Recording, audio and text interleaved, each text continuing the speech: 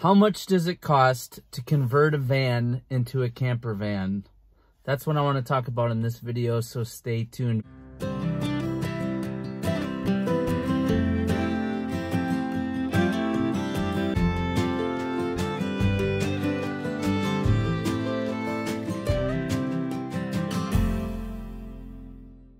My name is Jamie, Nomadic Rev. If you're new to my channel, I love the nomadic lifestyle, and this is my 2005 Chrysler Town and Country that I have converted into a camper van. Um, I'm not going to do a tour in this video, but I will put a link up here uh, if you haven't seen it and you want to watch uh, the actual tour of the video. So today I thought I would talk about um, how you can convert uh, a van.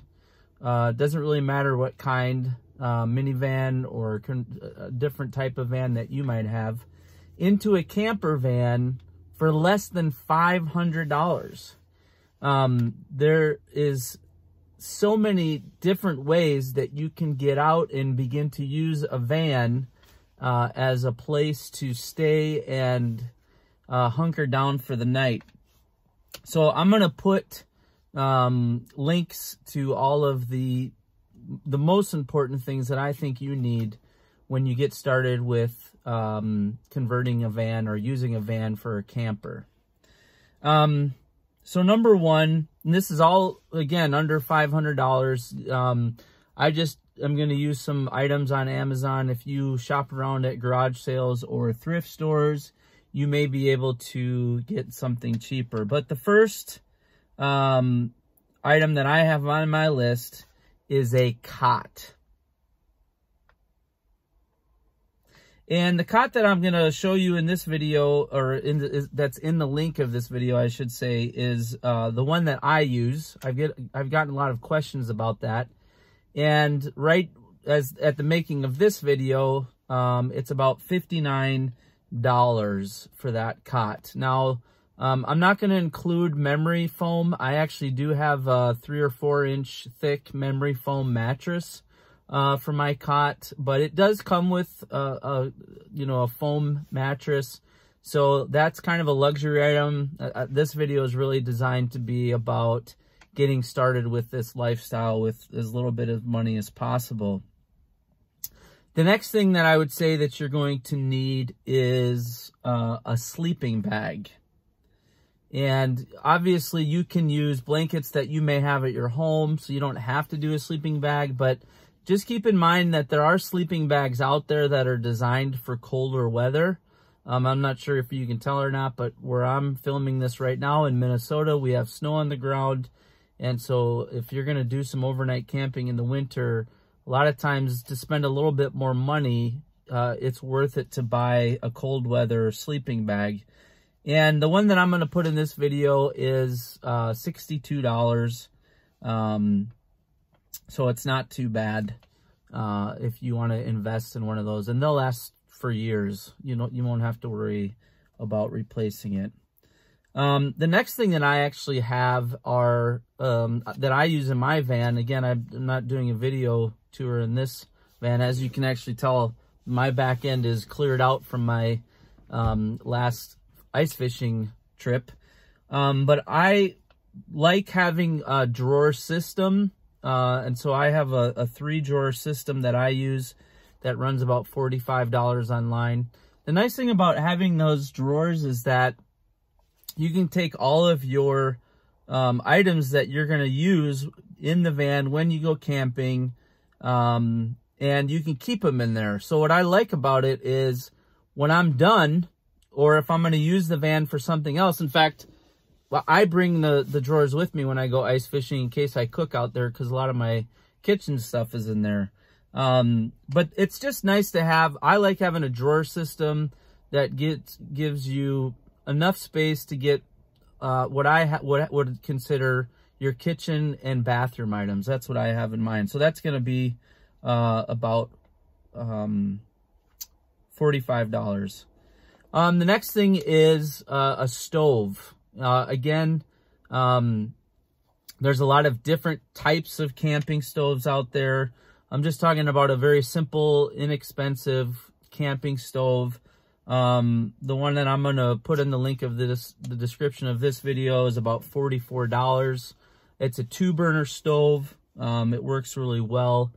And it is nice to maybe have a two burner stove in case you're a lot of times a lot of what a lot of people make in a camper van is maybe like spaghetti. So you can have one pot for boiling water and one pot for sauce.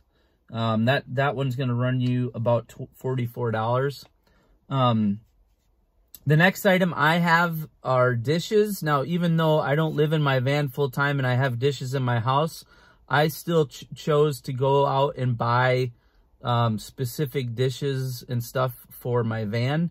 And I went to a thrift store or maybe even garage sales sometimes, but we have a lot of thrift stores right near me here in Minnesota. So it's not hard for me to go out and find um, some dishes that I can use. Um, and you don't need a lot, really. I mean, it's it's a it's not a lot of, of dishes that you'll need. So I put down maybe 20 to $30. I don't have a link for that just because, again, I got mine used. Um, the next thing is uh, a heater. And a lot of people obviously like the propane Mr. Buddy heaters. I I have an off-brand one. I can't remember what mine is called. Um, but it basically, you know, does the same thing. Again, that would be for those colder nights um, where, you know, or you, where you might be somewhere in the mountains or somewhere where it's just nice to have uh, a heater. Uh, that one was $74. Again, I'll put a, a link in the description of this video to all of this. Um, the next thing I have is uh, some sort of light system. So you can get flashlights for really cheap. I usually have several different uh, flashlights available in my van. Um, a lot of them don't even have batteries in them yet. They're just extras. Um, the lights that I have in here now, um, I shared in a, in another video, but um, see if you can see them when they go on. Probably hard to tell. Or they may need to be charged, but I bought these. These are a set of lights that I have right now that have a little solar panel and you can, you know, use that to recharge. I think that one was like 20 or 30 bucks. I also have another one that's like you charge it with a USB and it's rechargeable. I really like that one. It's LED. Um, I think that one was about $25. Um, and so that, that was, you know, pretty affordable. Um, then the last thing that I personally would recommend is Reflectix for the Windows. Um, it's nice to, you know, have those. You can make them uh, really easily. Um, I have another video here on my channel of how I made mine. I think I went and got like a larger roll of the Reflectix from like a home goods store. And I want to say it was like $40, uh, maybe something along those lines. Um, and then I've just cut it to size and and I actually used um, just some an old sheet I think that I had a black sheet. And I just you know uh, connected it to one side of the of the Reflectix so it was black on the outside. So um, again these are probably what I would consider you know as I was writing these things out these are kind of what I would consider the most essential things that you would need if you have a currently have a van and you just want to explore the camper van option. I'm I really like having a minivan. Um, there's a lot of uh, van dwellers on YouTube who like minivans with the stow and go seating because they actually take the seats out and then can use uh, the storage below. I, it's it's a great feature. The other thing that's nice about a minivan is that when you're stealth camping, you don't really stand out. Um, people don't tend to see you. So um, uh, those are kind of, that's kind of my recommendation for uh, the cheapest way to convert a, a, a, van into a camper van and to use when you go out and go camping. There's probably some other things that, that other people may have some suggestions. So if you do and you're a part of this community, please leave them in the comments below and uh, help other people out. And uh, just wanted to share that video with you today. Hope you find it helpful. Uh, if you have any other uh, questions, feel free to leave a comment below. If you like videos like this, be sure and subscribe and share it with a friend. Thanks for watching. See you in the next one.